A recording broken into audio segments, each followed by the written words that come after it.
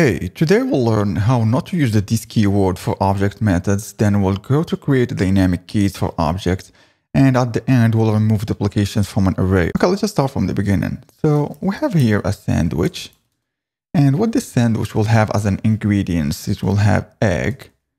Okay, let's just go for egg, then it will have cheese. Okay, just go here for cheese. Sorry, vegetarians. I need to add some vegetables, cheese. Then let's just go for cucumber. Let's just add cucumber. Okay, good. Now, what I want to do exactly, okay, first let's just console log this sandwich to see what we have here. So we have an object of three elements. This is the key and this is the value, egg, cheese, and cucumber. But what I want to do exactly is I want to create a methods to get only this egg and cucumber. Okay, let's just create it, get ingredients. And for that, I'll use an arrow function. And I will console log this egg, then this cucumber. Okay, let's just call this method get, ingre and get ingredients. So I'll use sandwich, then get ingredients. Get ingredients.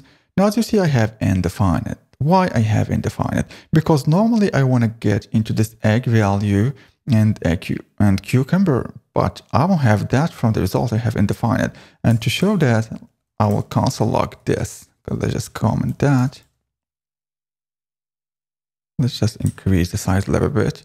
As you see, I have a returned value window. Why? Because when you are using an arrow function, in this case, this is an arrow function or ES6 syntax, and this will behave differently. So you will have the window object instead of getting into this properties or instead of getting into the to the value of the content of the sandwich object right here. So how to solve this problem? To solve this problem, we'll use an we'll use an anonymous function. Okay, let's just create the same function. Let's just create the same method, get ingredients. Then instead of an arrow function, I will use an anonymous function and we'll console log first this. And as you see here, so I have each element from the object, egg, cheese, cucumber, and the method get ingredients. But what I want to get is egg. Okay, let's just get egg and cucumber, and I get the values.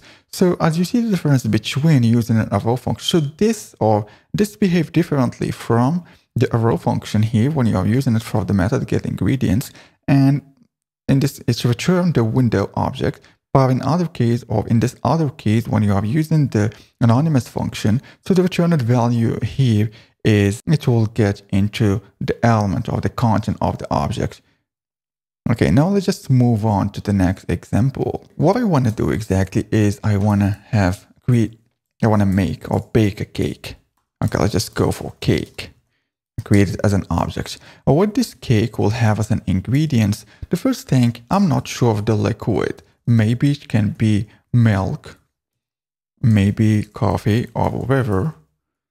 But let's just stick to milk. Let's just stick to milk. And I'm not also sure what kind of fruit I will use.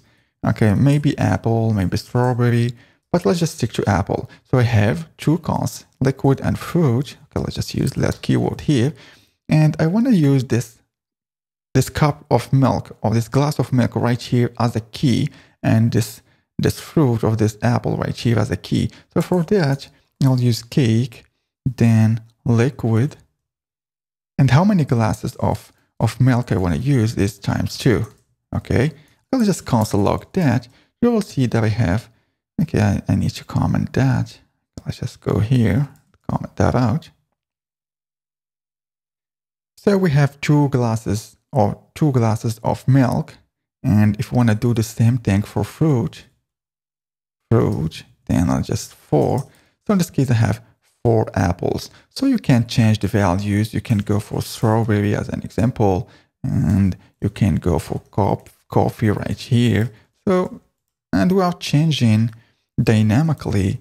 Just go for coffee. We are changing dynamically these keys here. So we have, so this this here, this content right here, will have a place liquid and this apple will, will place fruit. And this is what we want. We want to just this, this keys to be dynamic. or whoever the problem is not giving the values, but the problem is that this, this code right here is so repetitive because we need to use this cake multiple times, then get into each value.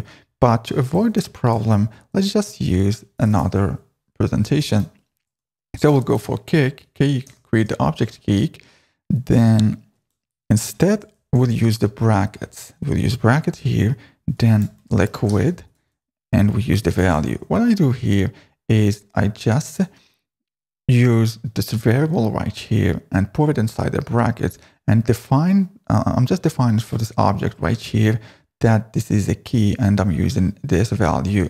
I'm using this variable right here or the value of this variable right here. So liquid will be replaced with that. Okay, let's just go for the next one and I will use fruit. Let's just go for four and I'm getting the same result. And this is well structured. And this is how we can refactor this code right here to be less repetitive and to be more logical because reading that so it means that I have an object and inside an object that I have some keys and the keys they are dynamic and it's it's easy to read. Okay, let's just now move on to the next one. Okay, I'll comment that out again and, and comment that. Now, how to remove duplication from an array. But first, let's just create an array of animals. And what this array of animals would have, let's just go for co. Okay, co. Then I'll go for a monkey. And then I'll go for a lion. And the last one, let's just go for a rabbit. And I will duplicate this co multiple times. And let's just duplicate this rabbit also. Okay, let's just console log animals. As you see here, I have seven items or seven elements, but I have some repetitions. So we have one, two, three cows, and they have one monkey, one lion, and two rabbits. And they want to use this, this, this values of these items to be, and they wanted this animals array to be unique. And for that, let's just create a unique const unique animals. And I have, I can use the constructor new set then I use as an argument, the set uses an argument animals. And what this constructor will do exactly, so console log unique animals, and you'll see that I have a returned value as a returned value, an object with only four items, and I'm not having duplications. I only have one cow, one monkey, one lion, and one rabbit. Okay, the result is good, but the problem is this this value right here is not an is not an array, is an object, but I want but the returned value that I want is an array, not an object. Okay, if you want to check for that, you can use the array constructor, then the isArray method, and so will tell you that this is an array, but let's just go for the is unique to find that. Okay, and okay, I forget that. This is not an array. I, am giving false because this array is array is returning a boolean true or false. So in our case, it's returning that this animals right here is an array because it is an array, but this one is not. Okay, how to convert the returned value, this returned value should be an array. So for that, we'll use the array from. Okay, array from. Then it will get into each element from the object and put our, our specific index. Now we have an array instead of an object, an array of four items. This is the first one that includes repetitions or duplications, and this is the, and this is the second one that doesn't include duplications. And this is a way on how we can remove repeated elements from an array. Okay, that's it. I hope um I hope I explained things correctly. And if you have any question, if you have any question, or if you or if you already use some other function that give you the same result, please please let me know that in this in the comment section. Thanks.